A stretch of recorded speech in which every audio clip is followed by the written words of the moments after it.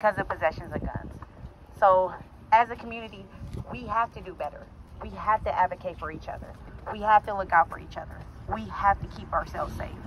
And for this protest, I do thank all of our students and Denny and our students at Chief Sealth for lending their voices here today. I know it's tough, but what you guys are doing is big and it's huge, and we appreciate you. Mm-hmm. But we all got to look out for each other and make sure that we make better decisions than violence at this point because we need each other. We love each other, obviously. We're here and we want to see a strong community.